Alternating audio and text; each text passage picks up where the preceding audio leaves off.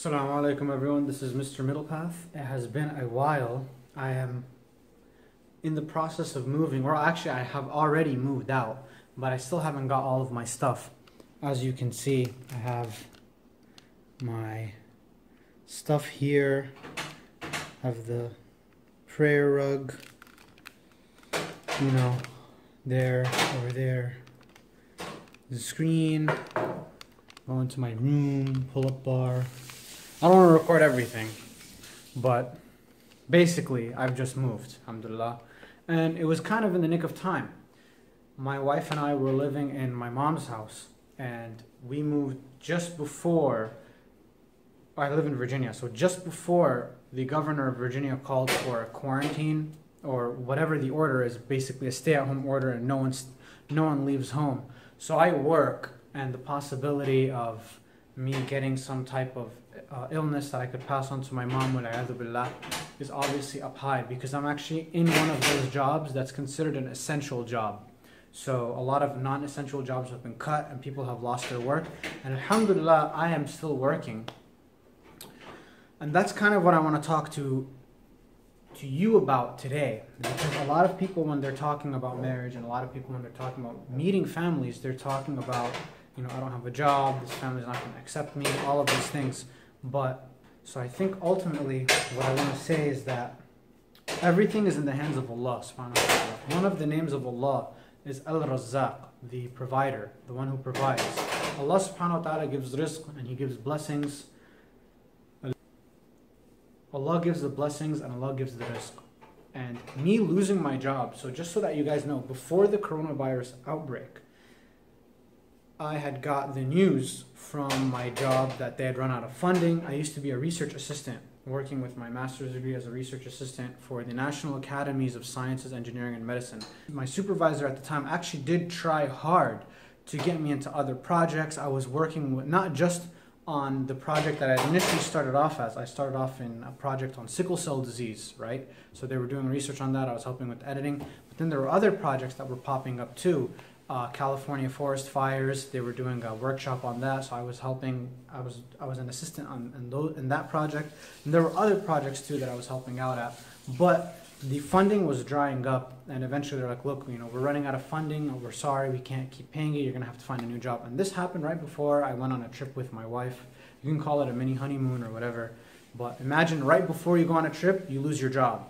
So that was kind of stressful. But alhamdulillah, I had the feeling that I knew that Allah subhanahu wa ta'ala was going to take care of me. Two weeks later, and also my mentality changed because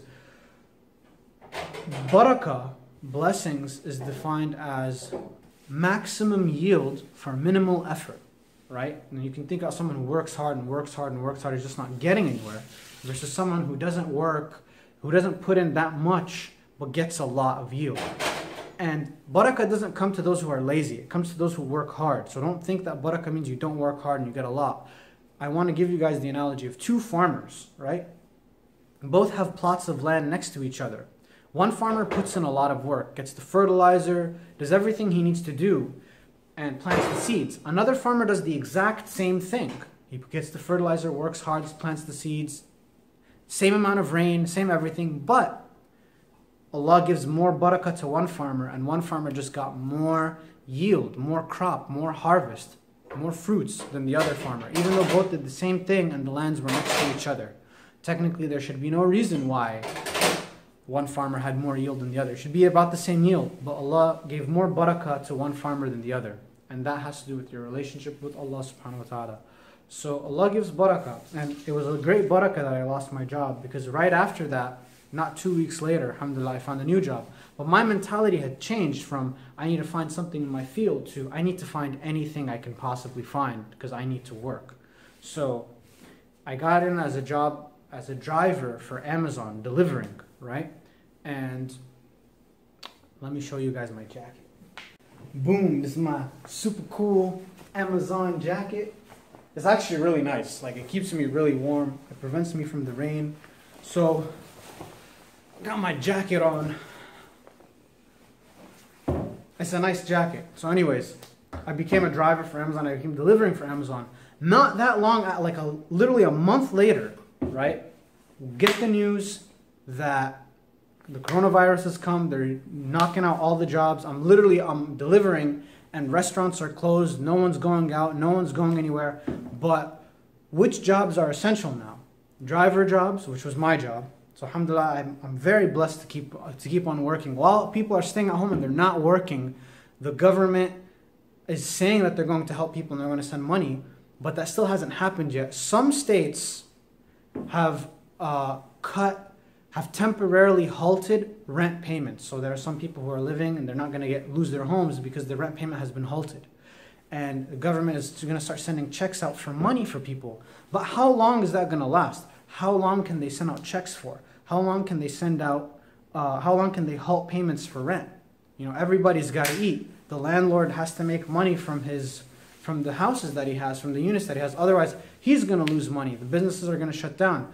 You know, even if the government sends money for people so that they can last, it might last for a month or two, but after that, the government's going to lose too much money. And I'm like, hey, we're restarting the economy again. Whoever dies, dies, and whoever falls behind, falls behind. We got to keep working. And that's honestly what's probably going to happen with this, because this virus is not going to go away anytime soon, unless a video for another time. But ultimately it's not the government that takes care of you it's allah subhanahu wa ta'ala who takes care of us you know so essential jobs was healthcare jobs nurses doctors policemen delivery drivers you know and going back to the marriage topic right I remember having a conversation with my father-in-law where he was this was before I started working as a research assistant and they wanted to do the contracts for the marriage and I remember he was telling me, you know, we're just waiting for you to have a have a job so that you know when you marry my daughter, you're stable, blah blah blah blah, right? And I was like, yeah, cool, I understand that, but let me ask you a question, sir. If I lose my job, do you want me to divorce your daughter? And I had said that as a joke, but it had a lot of meaning behind it. And he laughed and he said, no, no, no, that wouldn't be a good thing. So he understood what my intention was. And I told him, look, at the end of the day, Allah subhanahu wa ta'ala is ar-razaq. And he was very understanding of that. He still wanted me to get a job before I married his daughter. Very understandable. So I found that job, which was the research assistant job, and then we did the contracts later. But the point was that Allah is ar-razaq. If I lose my job, do I divorce your daughter? No. So it's very important to understand that point, that some families will ask and some families will want more. Another thing that came up was uh, the topic of a wedding, right? and I was against a wedding, and no, let me put this: I was for a wedding within reason, right? But then, you know, sometimes families get excited and they want a big wedding and all of these things, and alhamdulillah, we didn't do it. And I'm so glad we didn't do it because had we done it, we would have lost a lot of money and no one would have been able to show up for the wedding anyways. So doing things for the sake of Allah, like avoiding a wedding that might be mixed with women and, and, and, and males together Islamically, which is not okay, a wedding with music. Now, that's not to say that my in laws would have done stuff like that. I'm just speaking generally, right? Of why someone wouldn't have a wedding or should have a wedding. And also, everyone's case is different. So sometimes someone might want to have a wedding because they want to keep the family relations together. And for them, that's more important than breaking family ties and you know, choosing the lesser of the two evils. But sometimes other people's situation is different. In my situation, for example, I was just not able financially to provide a very big wedding. So it didn't happen. Alhamdulillah, it didn't happen because I would have lost a lot of money. And in the end, my family, my wife's family, neither of them would have got what they wanted because everything is canceled now because of this virus. So ultimately, how we move along in life, we have to trust Allah subhanahu wa ta'ala. Even something like me getting a driver position a lot of people would look down on that. But the people who look down on these jobs don't even have a job themselves now. So there's something to keep in mind. And I am not bashing on our elders, right? Our elders, for example, who might have looked down on a driver job or might have said, this is not for you, they come from a time and their ideas reflected the reality of their time. So, for example, something like a driver job the people who, in their time who worked as drivers were uneducated, had no. I'm not saying that they are uneducated and have no manners. I'm saying this is the stereotype. Most of them were seen as uneducated and had no manners and and were just you know like ghetto people, hood rat type of people.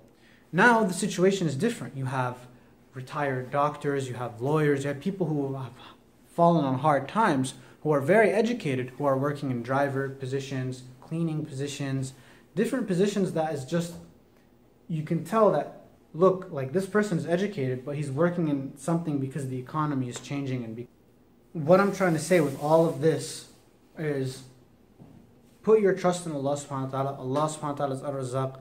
Don't think to yourself, oh, okay, I don't have a lot of money, I don't have a lot of this, I don't have a lot of that. I'll give you guys another story. A friend of mine, let's just call him Abdullah, right? He is an Abdullah. He has a sister. Let's call his sister Khadija, right? That's not her real name, I'm just using pseudonym. Now, someone wants to marry Khadija, and his name, let's call him, I'm thinking of a name. Let's call him Ali, right?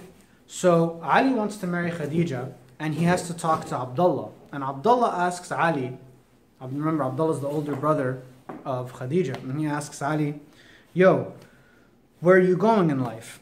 And Ali says, You know, I don't really know. I'm kind of doing this college thing, and after I'm done with college, I'm hoping my dad might hook me up with something, I might work with something with my. He gave an answer that showed he didn't know where he was going. And this made Abdullah uncomfortable and he said, No, look, man, until you know where you're going in life and where you're trying to head, I'm not comfortable with you continuing to speak with my sister and trying to marry her because you're not going to be able to provide anything or any stability. So it was less about a job. It wasn't about the job and about the money. It was about the, the mentality and the direction and the position that you're going in in life. This is what someone's going to look at a lot of men lose their jobs, right? And they get it back and they continue working and they find a way, right? Most families are okay with that. They're gonna be like, okay, you know, fine, whatever, you know, hard times. But mo- most families will not be okay with is a boy, right? No one's gonna let their daughter marry a boy. They're gonna wanna let their daughter marry a man. So one of the things about being a man is responsibility. Remember, I talked about in my previous videos about strength and honesty. So part of being strong is putting your trust in Allah subhanahu wa ta'ala, understanding you can't do anything without the help of Allah subhanahu wa ta'ala. And I just wanted to share my story with you so that in these very strange times, you have a perspective where you're like, you know what, no matter what, I trust in Allah, Allah is going to provide for me. I would have never thought three years ago when doing my master's degree I'd be an Amazon driver. But here I am, and not only here I am, I'm very grateful that I'm doing this because it's actually fun. That's a story for another time. I go out to the craziest places. But, anyways, guys, take care. Peace out. Think about what I said. If you have a story where you wanted to marry someone and they said no because you had no money, or if you had a story where you had no money and you were still able to get the girl that you wanted because you were able to leave a good impression with the family, share it in the comments below. I'd like to hear it. I don't think I need to tell you to like my videos and subscribe, but if you haven't done so, please like and subscribe. It helps with putting my content out there for other people to see. So inshallah it'll benefit more people. Take care. Peace out. Assalamu alaikum.